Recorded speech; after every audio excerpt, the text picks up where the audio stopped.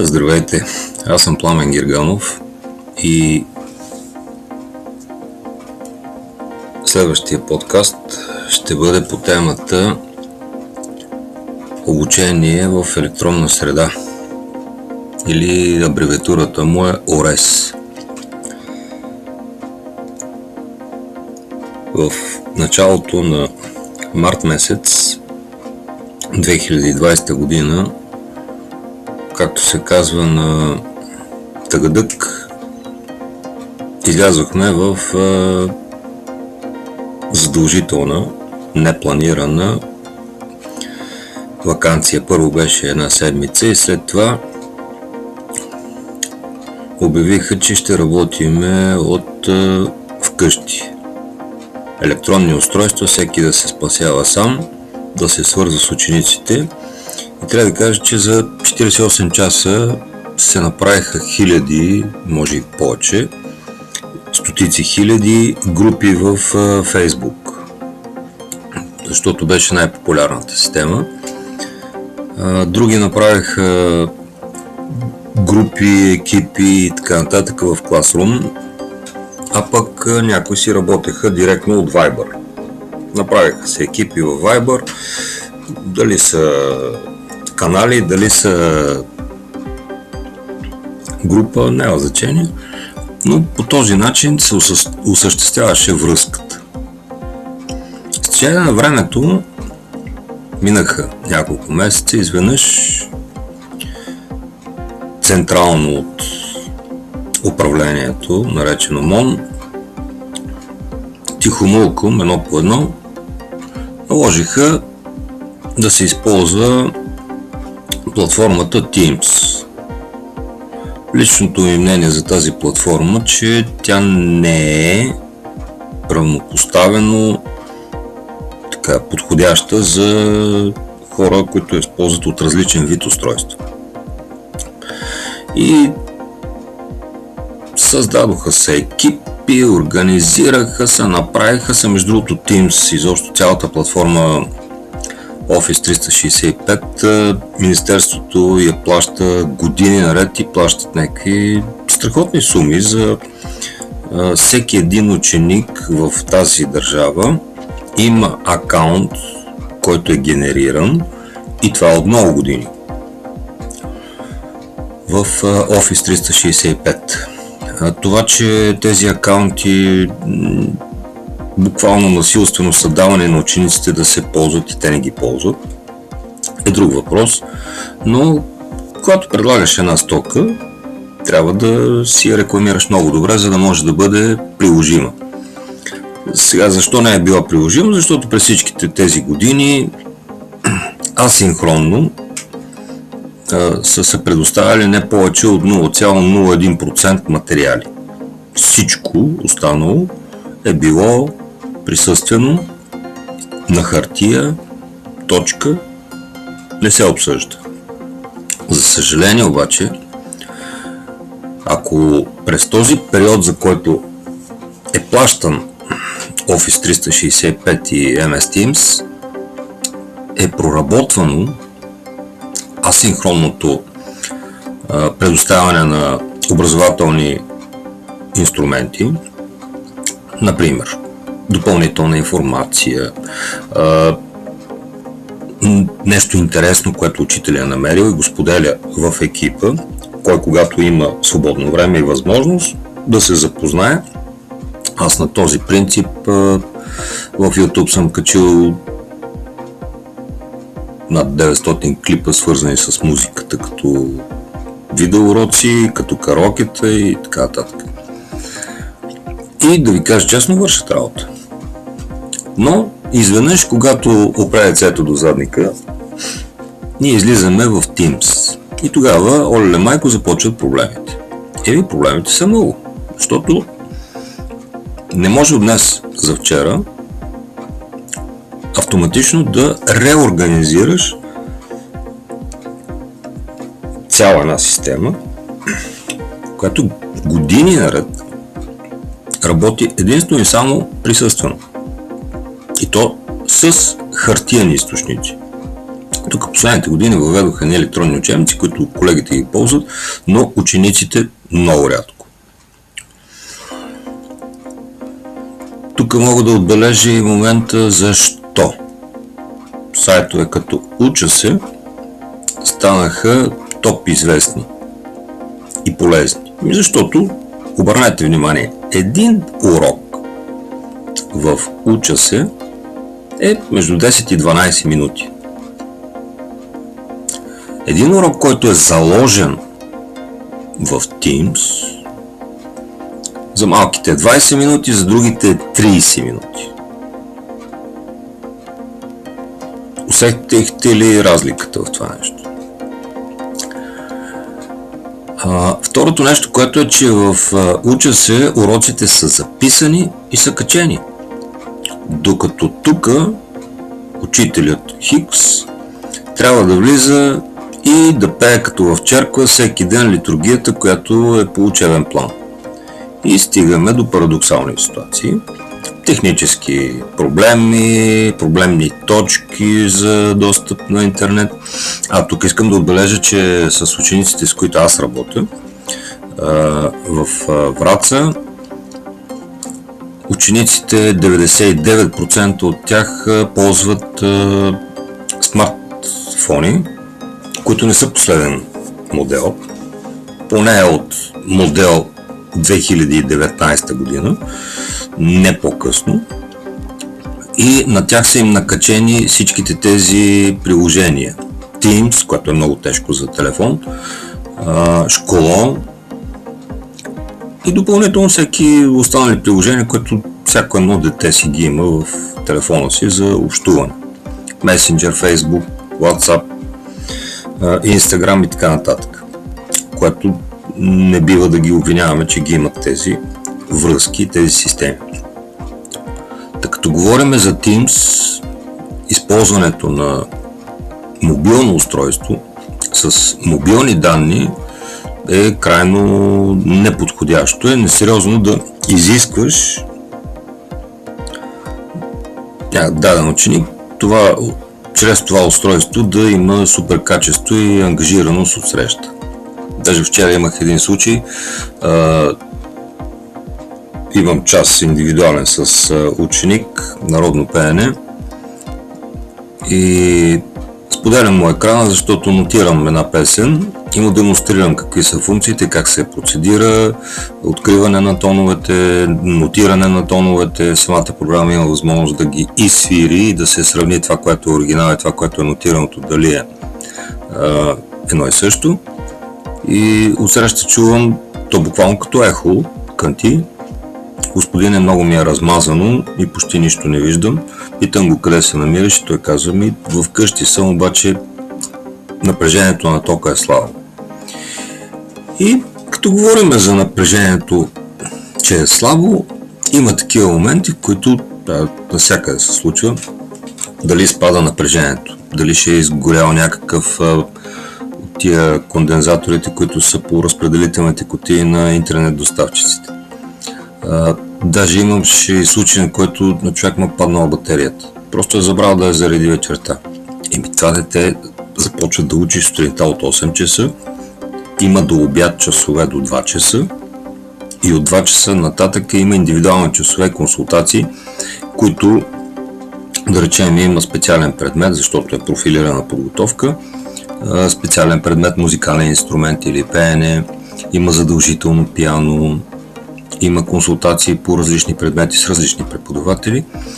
И този телефон, при положение, че не е зареден, това дете трябва да го държи включен цял ден, да, да работи до 16 часа или до 17 часа. От 8 до 17 часа. И да бъде на устройството. И да ползва мобилни данни. Аз като човек сравнявам всичките тези неща и ги събирам в една допирателна и много ясно разбирам кога истината е такава или просто самия ученик или човек от среща не му се занимава и иска да кършолеви. Това много лесно се разбира. Но си има начини да бъдат мотивирани. Аз за себе си съм намерил такъв начин и то е индивидуален подход за всеки един ученик, с който аз работя. Но в системата има и много колеги, в кавички ще ги поставя, защото те са колеги само до толкова, доколкото взимаме и аз и те взимат учителски заплати. Но отношението им към учениците е като към престъпници, които постоянно лъжат, които мамят, които искат да получат образование даром, готованковци, какво ли не още като определени епитети и така нататък, които просто цитирам. И за съжаление, подобен род хора в учителското съсловие, те може да са много добри специалисти в своята област, сфера, която преподават, предметна област. Но като специалисти, като хора, които да предадат знанията, са пълен провал. Ти може да си изключително ценен кадър, може да си изключителни умения да имаш знания и така нататък. Но ако не можеш да предадеш 1%, защото като човек, като общуване си пълна нула, съжалявам, системата страда от това нещо. И тук вече опираме до оценката. В момента, работейки от разстояние, учителите се оценяват по една абсолютно проста, но явно ефективна система за тези, които са нагоре по етажите на властта. Явява се някакъв проверяващ, който е шеф на дирекция или не знам какъв си, издава заповед експертите, които са по отделите, да направят проверки по отделните училища, какво, как, защо се прави. Съответно, те издават разпореждане на регионалното управление на образованието, да се осигури достъп до кое си училище, регионалното управление пък чукат на вратата на директорите и казват толкова часа достъп до екипите във вашето училище до обяд. И по веригата се установява достъпа и наблюдават. Като си отворите екипа, виждате, че примерно свети, че в часа ви присъства директора. Имайте предвид, че в този случай директора предоставява информация на РО, РО предоставя информация на Министерството в София и всичките гледат какво се случва. И това е идеалният вариант. Но има един друг вариант, който а, пак се предоставя достъпа и се гледа в екипа кой е учител, в колко часа, какво е провел. Буквално гледат минутките. Ако минутките са 30, учителът си е свършил работата, написал е там темата на урока, плана на урока, всичко окей, идеално. Аз си направих а, труда, защото ми беше поставен въпроса как се работи. А, часовете, които преподавам са раздел Б и В и затова ги преподавам индивидуално в следобед до обяд са общообразователните, след обяд са тези часове, които аз преподавам. И направих си труда всеки един от часовете да го записвам чрез Teams. И тук вече поставям въпроса, защо еди кой си час е 10 минути? Ами защото индивидуалният час, който е, тези 10 минути можах да поставя задачите и да се обсъди това, което трябва да се работи днес и останалото е поставено като асинхронно. А, не, трябва да свети 30 минути, тук на прозорчето да пише 30 минути, а вече което му даваш за домашно, той или тя да си го свърши. Така обяснявам, стоп. Това, което аз преподавам, при мен няма домашни работи.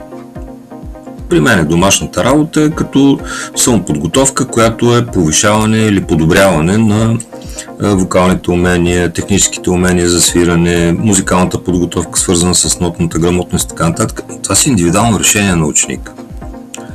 И ако няма възможност, защото има и такива случаи, ученикът разчита единствено и само на подготовка, която имаме в часовете в училище. Защо? Ами защото представете си, ние репетираме вокална техника, която е свързана с а, открито пеене. Представете си народно пеене, да ми пее някаква жетварска песен и това се пее с открито гърло, буквално кръщение, докато постигне съответния тембър, звучение и така нататък. В къщи, особено пък в а, електронна среда, или пък да не е електронна среда, кога може да го репетира и кой може да го репетира. Аз имам такива ученици, които казват вкъщи просто имам си проблеми с комшиите, не, не мога. Няма музикант, който да, да не е имал проблеми с комшиите си, там където е бил, дали на квартира, дали живее и на какъвто ще е инструмент да свири. Сега има някои инструменти, да са по-тихички. Нали? Цигулка, китара, акустично, гадулката също може да бъде заглушена. Например, свириш на гайда. Гайда тихо не може да свири. Или пък пееш народни песни. Ти трябва да отвориш гърло, ти трябва да креснеш. Това не може така да го направиш. А за да постигнеш съответното нещо, това си е много упражнение, това си е много опит, същевременно и слух. И постоянно да бъдеш под напрежение, че някой ще ти чука по стените или ще дойде да ти прави на вратата скандал или ще извъни на телефона, в един момент си казваш, ами аз тук няма да го репетирам това нещо. А, за това, за което говоря и това, което преподавам, е свързано с творчески процес. Ако някой не се е занимавал с творчески процес, той да участва в него, да ври и да кипи, не може да вникне в това, което говоря. Ако не може да вникне в това, което говоря, по-добре е да седи и да слуша само. А, защото когато планираш действия, свързани с творчески процес, има една графа, която обикновено се попълва очаквани резултати. А, тогава разбирам, че нали, някой иска от мен очаквани резултати, тогава разбирам, че той въобще не разбира от моята работа. Но, за съжаление, хора, които въобще не разбират от дейността, която работя и начина по който се постигат резултатите, това, което аз работя, да ми поставят условия как да го направя, някак си е несериозно. И затова даже вече не ги обсъждам. За съжаление, обучение, свързано с изкуство, включително изобразителното изкуство, от разстояние, така нареченото електронна среда или ОРЕС, трябва да има някакви условности. Не може да стане така, както е било в реалната среда. Просто няма атмосферата. Абсурдно е. И по тази причина аз имам изключително големи резерви, свързани с обучението от разстояние. Защото абсолютно всичко, което се случи като организация, която да има работещ вариант, сме си го направили ние учителите. До началото на тази учебна година не ни се бъркаха толкова експерти от Министерство и така нататък, но с началото на тази учебна година започнаха доста да се бъркат. И, доста да определят а, как ще се вари Бога. Не, не, не го правете. Значи не може един математик да ми обяснява аз как ще науча едно дете да свири или да пее. Аз не мога да науча някой как да научи децата на математика. Съвсем чисто сърдечно. Така че няма да позволя някой на мене да ми определя какъв ще е графика, как ще е графика, за да се получи тази атмосфера, която е наричан творчество и творчески процес. Ще продължа по-нататък по темата, някой следващ запис. Надявам се това, което съм разказал, да ви е полезно. То, че не е кой знае колко интересно, не знам, но да, но да е полезно на някого.